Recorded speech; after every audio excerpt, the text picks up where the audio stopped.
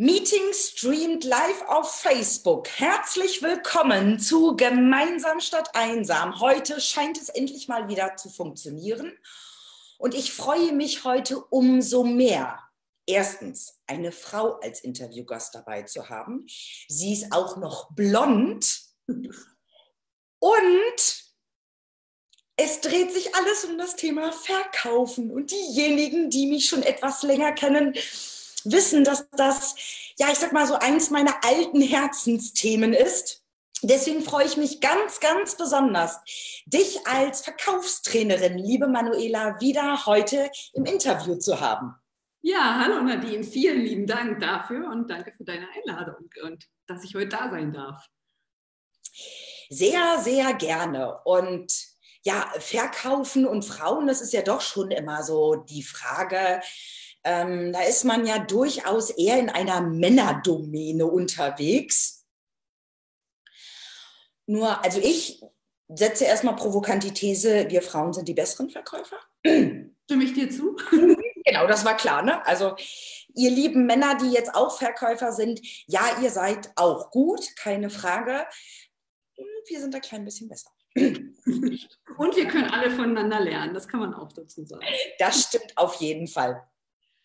Was mich aber gerade in dem Zusammenhang als erstes interessiert, wie bist du dann zu diesem Thema gekommen? Wieso bist du Verkaufstrainerin?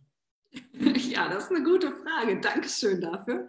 Und äh, das ist so passiert eigentlich, dass ich selber sehr lange im Vertrieb war, in unterschiedlichsten Vertriebspositionen, in großen Unternehmen, äh, wirklich in verschiedensten Unternehmensstrukturen und da auch verschiedenste Vertriebspositionen ähm, begleitet habe und auch ähm, selber ausgeführt habe. Also wirklich so vom Innendienst her bis hin zum Außendienst, dann Key Account und Vertriebsleitung. Also ich hatte wirklich so vom Spektrum her ziemlich viel dabei, was ich selber mal gemacht habe und habe immer so aus diesen unterschiedlichen Perspektiven verschiedene Sachen einfach erlebt mm, und bin dann vor war das 2014, also schon vor sechs Jahren zum Coaching gekommen, habe dann eine systemische Coaching-Ausbildung gemacht und danach kam so dieser ganze Prozess ins Rollen und dachte ich so, okay, was, wie kann man systemisches Coaching, Vertrieb, all die ganzen Sachen, Erfahrungen, die ich selber so im Business gesammelt habe, ganz gut zusammenbringen. Ja, und daraus ist dann die Idee entstanden, selber als Business Coach und als Vertriebstrainerin zu gründen.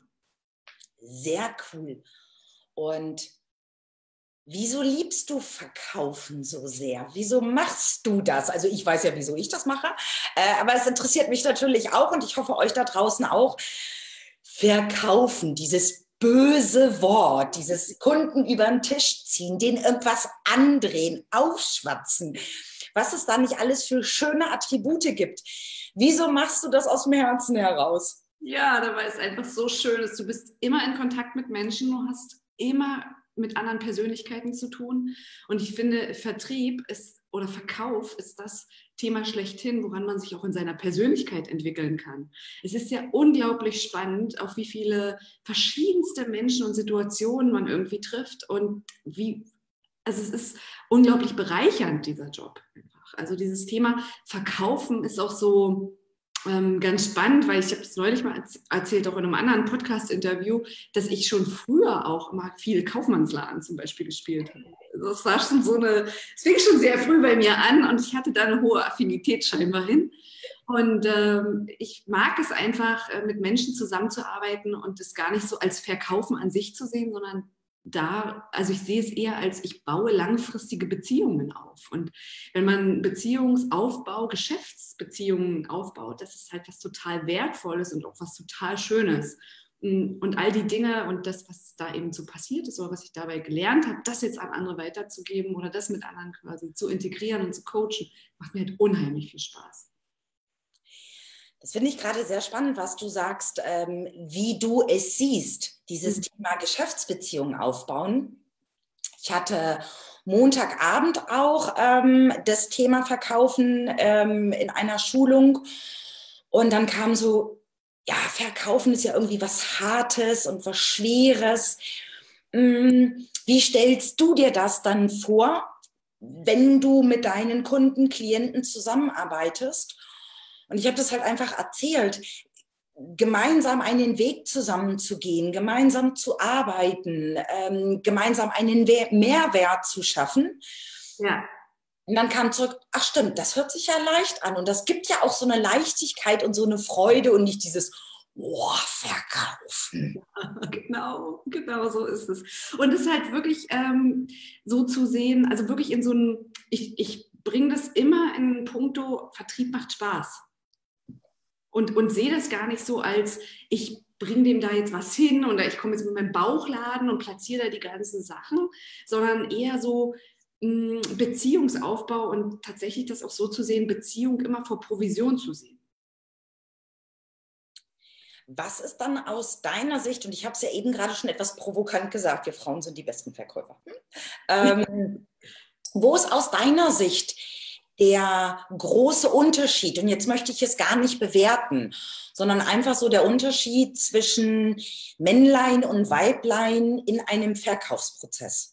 Hm, ja, das ist eine sehr gute oder ja, sehr wichtige Frage. Und ich glaube, der größte Unterschied liegt darin, dass wir Frauen einen extremen Vorteil haben im Thema, dass wir den Beziehungsaufbau, also tatsächlich schon mit dem anderen in Kontakt zu gehen, die Beziehung zu knüpfen, Vertrauen aufzubauen, da haben wir so einen Vorteil. Und ich erlebe halt, dass es noch viel zu wenig genutzt wird oder viel zu wenig darauf vertraut wird, dass wir das gut können und dass wir das gut machen können. Mhm. Und da sehe ich halt für uns halt einen riesen, einen riesen Vorteil drin.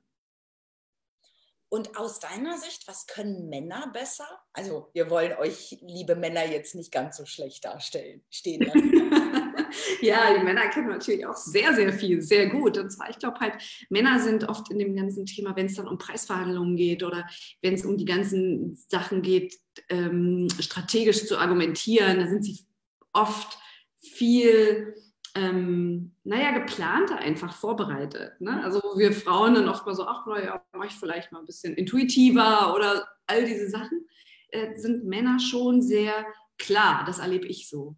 Ja. Glaubst du auch, dass das was mit Selbstbewusstsein, Selbstwertgefühl hat? Ja, auf jeden Fall. Also Thema Preis und Verhandlungen immer hat was mit dem Thema Selbstwert zu tun. Wie viel bin ich mir A selbst wert und B, kann ich den Wert, der da jetzt quasi gerade aufgerufen wird für das Produkt oder für die Dienstleistung, entsprechend argumentieren, verkaufen ähm, und da die entsprechenden Vorteile und die Nutzen dann entsprechend oder den Nutzen dann entsprechend klar machen. Ja. Und ich glaube, so sehe ich das oder so erlebe ich das dass tendenziell da, glaube ich, leider wir Frauen eher auch noch mal Zugeständnisse machen. Ach, na ja, gut, okay, dann machen wir noch so einen kleinen Rabatt oder ich lege noch mal irgendwas obendrauf. Ähm, das, da glaube ich so, die Herausforderung ist tendenziell. Also mit Verlaub, ihr, ihr, die das jetzt anschaut oder zuhört, das ist sehr verallgemeinert. Da können auch sehr viele Frauen sehr verhandlungsstark sein und Männer genauso gut Beziehungen aufbauen. Ich glaube, es ist nur einfach wichtig, um es so ein bisschen nachzuvollziehen, eher klischeehaft mal unterwegs zu sein. Also bitte nicht persönlich nehmen, wenn wir da jetzt uns Frauen oder auch die Männer mal ein klein bisschen von der anderen Seite betrachten. Das mal so als kleiner Exkurs. Ich glaube, da sind wir Frauen eher ja so ein bisschen in der, ich nenne es jetzt mal Dienerrolle. Und wenn wir dann noch ein klein bisschen oben drauf setzen, dann ist der andere zufrieden und wir möchten den anderen zufriedenstellen, wo ich glaube, der Mann eher so tendenziell seine eigene Zufriedenheit mehr im Fokus hat und dadurch halt einfach den Preis häufig auch besser verteidigen kann.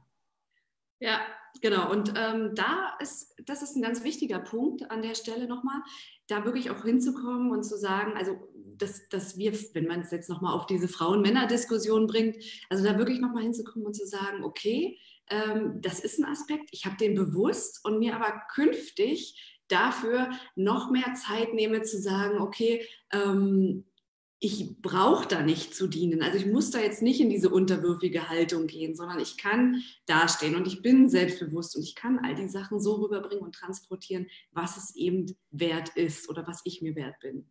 Und das ist ein sehr spannender Aspekt. Und nichtsdestotrotz finde ich immer wieder diese Männer-Frauen-Debatte ähm, wirft halt Diskussionspotenzial auf oder verschiedene Sichtweisen auf. Und trotzdem sind wir ja alle irgendwie eins und können voneinander ganz viel mitnehmen und lernen. Ne? Definitiv, das auf alle Fälle.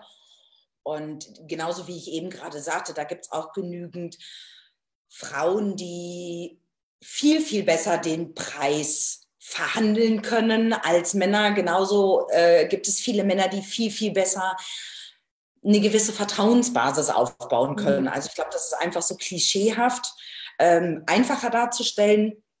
Und ich habe mich da lange mal mit beschäftigt. Das ist evolutionär begründet. Mhm. Das finde ich sehr spannend aus dieser Situation heraus. Mhm. Ja, genau. Ja, es ist spannend. Also die, die unterschiedlichsten Ansätze und wie, und dass wir ja eben doch noch so viele Sachen äh, von wirklich ganz, ganz äh, früher und irgendwie von Entwicklungsstadien her irgendwie in uns tragen, obwohl wir alle denken, wir sind gerade mal irgendwie ja unser Alter. Und das ist ja irgendwie nicht so.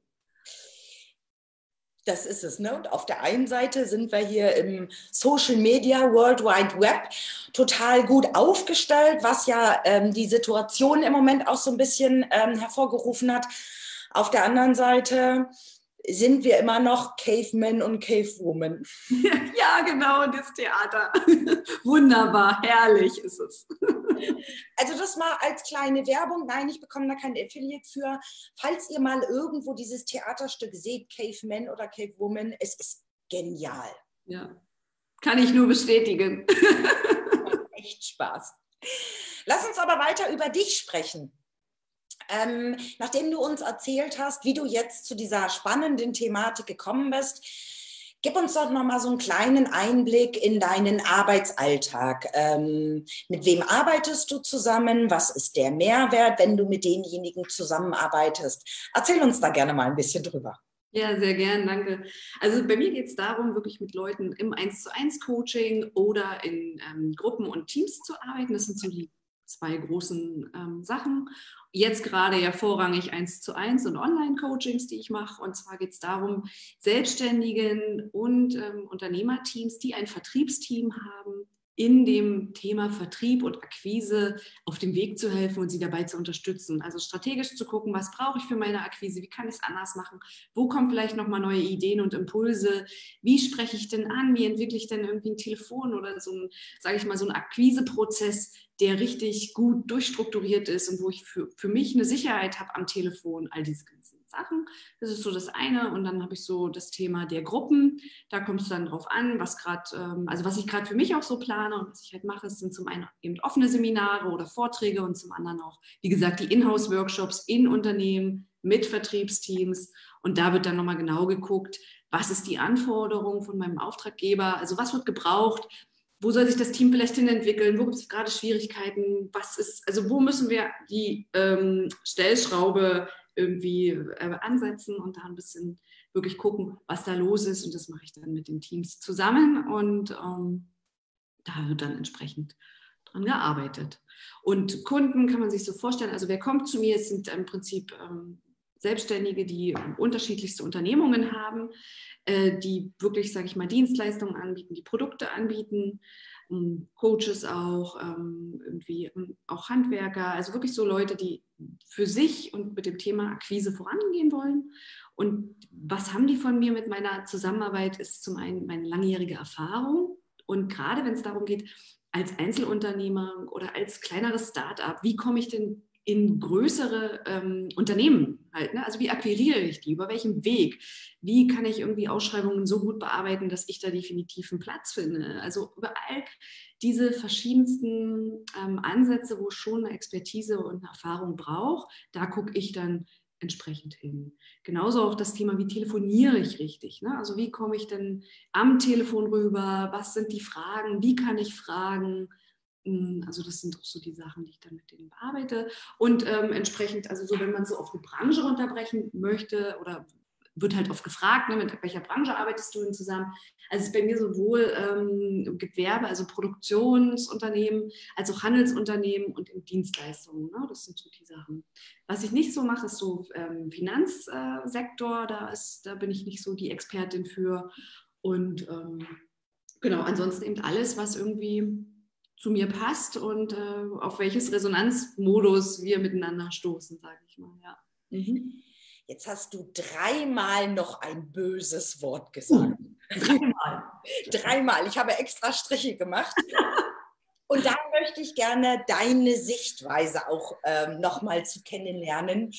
Dieses angsteinflößende böse Wort Akquise.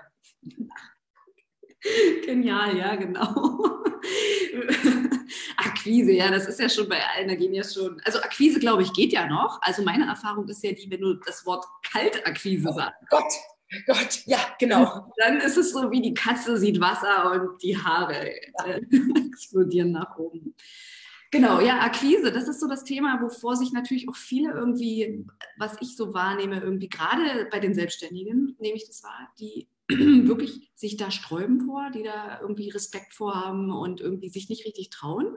Und ich bin immer so, also, weil du musst dir vorstellen, ich war ja lange im Konzern, in diesem Konzerndasein. Für mich war ja Vertrieb, ich habe schon immer gemacht, irgendwie gelernt, äh, mit 16 damals meine erste Ausbildung gemacht und bin seitdem in diesem Weg unterwegs. Ne? Das heißt, also ich habe halt viel mir angeeignet. Also für mich ist das, sage ich mal, so normal gewesen. Ne? Und dann war ich so selber Gründer und bin so raus mit meinem Business, habe gestartet und plötzlich war ich, habe ich das eben so mitbekommen in der ganzen Gründerszene und in der selbstständigen Szene und habe so gemerkt, hm, also wir haben alle eine super geniale Idee, sind voll überzeugt von dem, was sie machen.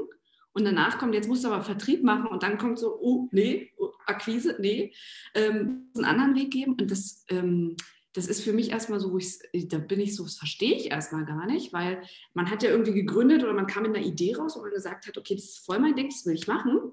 Und dann, wenn es darum geht, jetzt genau sein Ding, was man hat und was man, an, äh, sag ich mal, ja, anbieten will, irgendwie da geht es dann, nee, geht nicht weiter, weil da äh, kann ich nicht machen. Und das ist ähm, ein ganz interessanter Faktor, weil genau an dem Punkt kommt man ja an das Thema ähm, wie zeige ich mich, also Sichtbarkeit, ne? traue ich mich zu zeigen, was habe ich für einen Wert, ähm, kann ich das aufrufen, was ich mir da eigentlich so vorstelle. Ähm, also es ist ja nochmal ein Quantensprung in Richtung Persönlichkeit, ne? also von wo will ich hinwachsen, wer will ich dann sein. Und ähm, ja, also es ist super spannend und ich finde halt Akquise immer wieder spannend, wenn ich die Frage mal stelle, Habt ihr denn schon mal positive Erfahrungen mit Akquise gemacht, zum Beispiel? Mhm. Dann kommt dann schon mal hier und da auch ja. Also das ist nicht immer nur, dass es nur negativ besetzt ist, aber die meisten fokussieren sich immer auf das Negative und halten daran fest. Und ich glaube, das ist halt das Hauptproblem. Und meiner Meinung nach ist es auch so, in diesem ganzen Akquisebereich und Vertriebsbereich, du wirst ja nie zu 100 Prozent Abschlüsse haben. Also das ist ja normal das ist ja, und wenn ich dann eben anfange, mich immer auf die äh, paar Prozent zu konzentrieren, die eben mal nicht geklappt haben, dann ist halt Akquise auch negativ behaftet, weil es klappt ja nicht, weil ich konzentriere mich ja dann ja nur darauf. Das ist das eine. Und das zweite, was ich in dem Zusammenhang auch sehe, ähm, ist für mich, dass ich es dann, wenn es nicht geklappt hat, nicht zu Ende denke. Einfach nur sage, oh, jetzt hat es nicht geklappt. Hm, siehst du, Akquise wusste ich doch. Manuela, das funktioniert nicht, das klappt nicht. Ja.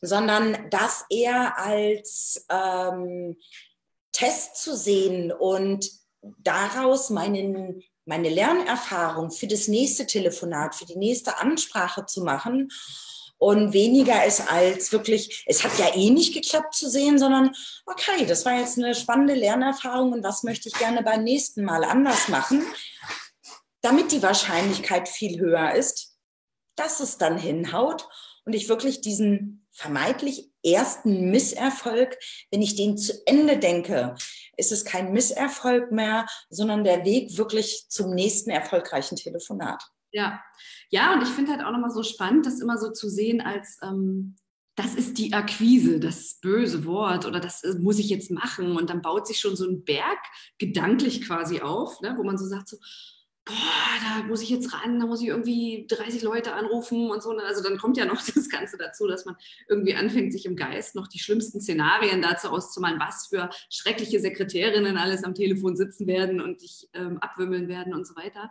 Ähm, und der Punkt ist eigentlich, dass wir ja letztlich, wenn man es mal ganz genau nimmt, akquirieren wir eigentlich immer, egal wo wir sind und egal was wir machen. Also es gibt ja eigentlich gar nicht diese Trennung in nur heute mache ich Akquise und morgen nicht, sondern wenn ich unterwegs bin, gerade als Vertriebler oder als Selbstständiger, egal auf wem ich treffe, es sind ja immer Kontakte, die dann kennen könnten und worüber ich wieder irgendwie in Kontakt kommen kann und worüber ich ja Beziehungen aufbauen kann. So.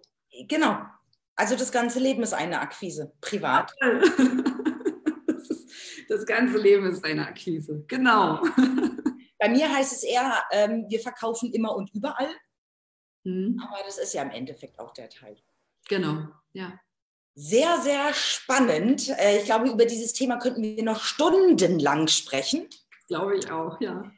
Ich lade aber auch dich ein, uns einen Tipp mit auf den Weg zu geben, aus deiner Erfahrung heraus, wie das Leben ein klein bisschen besser oder leichter werden kann? Wie das Leben ein klein bisschen leichter werden kann. Also es gibt mehrere Sachen, die ich so sehe und ähm, eine Sache, die ich immer wieder gerade ganz spannend finde, ist, sich immer mal wieder vorzustellen, was ist in einem halben Jahr. Also wenn man so einen Zukunftssprung einfach mal macht. Ne? Also wenn man so sagt, so, okay, ich stehe jetzt heute an dem und dem Punkt mit meinem Unternehmen oder irgendwie mit meiner Akquisetätigkeit oder auch, kann man ja auf alle Bereiche letztlich anwenden. Ne? Also man kann es ja auch sagen, irgendwie ähm, in dem privaten Bereich und so weiter. Und dann halt mal springt ein halbes Jahr noch weiter und von da aus dann mal guckt, okay, wenn ich jetzt ein halbes Jahr weiter bin und dann noch mal ein halbes Jahr weiter springt. Also quasi wie so ein in die Zukunft, ein Jahr in die Zukunft und dann aber guckt, was habe ich da gelernt, was habe ich mitgenommen, also was waren die Erfahrungen, die ich äh, gemacht habe, das kann man sich ja vorstellen. Also wenn man da mal so reinspürt, wir haben da alle eine Idee davon, was so in einem Jahr ist und wo wir hinwollen. Und wenn man dann nochmal zurückguckt, quasi, wenn man dann wieder auf das halbe Jahr zurückgeht und dann sich mal umdreht und sagt, was hat mir ganz besonders in den ersten sechs Monaten dafür geholfen, dass ich dann da sein kann, dann ähm, kommen halt auch nochmal ganz viele Erkenntnisse, hoch, die wertvoll sind, für die man sich weiter, also mit denen man dann im Jetzt schon wieder weiterarbeiten kann. Also einfach mal, wenn man so einen Future-Sprung einfach mal macht und sich mal vorstellt, okay, wie ist das, wo bin ich dann und dann, was hat sich dann ergeben, welche Herausforderungen hatte ich sogar oder was, was war gut für mich, ne? also was hat mir geholfen in der Situation. Mhm. Und das finde ich ganz spannend, weil gerade in der jetzigen Zeit sich wirklich mal zu überlegen, was ist in einem halben Jahr und auf die Zeit zurückzublicken. Ich glaube, wir werden alle ganz viele positive Dinge sehen, was natürlich auch im Hier und Jetzt uns einfach gut tut, das eine oder andere ja eine ganze Ecke schöner zu betrachten. Ja, auf jeden Fall. Und genau das ist ja das, was wir jetzt äh, wirklich auch alle brauchen. Ne? Also dieses positive, und äh, sich das immer wieder bewusst zu machen, dass in jeder Situation ja Wachstum liegt, dass in jeder Situation Chancen liegen und sich das entsprechend klar zu machen, auch mal aufzuschreiben. Ich empfehle das auch wirklich aufzuschreiben, weil klar kann man das durchdenken, aber dann ist halt auch wieder einfach schnell weg. Aber wenn man sich mal ganz bewusst hinsetzt und sich dafür mal zehn Minuten Zeit nimmt, dann äh, ist das schon eine sehr wertvolle Üb Übung. Auf jeden Fall. Deswegen da ganz, ganz lieben Dank für diese wertvolle Übung, diesen wertvollen Tipp. Gerne. Und dir auch ganz lieben Dank, ja, für dieses spannende Thema, wo wir, glaube ich, immer noch nicht geklärt haben, sind Frauen die besseren Verkäufer? Ja, nein, vielleicht anders. Und wir gemeinsam viel voneinander lernen können, was in jeder Situation ja hilfreich ist. Mhm, genau. Deswegen dir herzlichen Dank und euch draußen natürlich weiterhin alles Gute, wenn bei euch auch schönes Wetter ist. Genießt die Sonne und bitte bleibt gesund. Bis morgen. Tschüss. Tschüss, danke.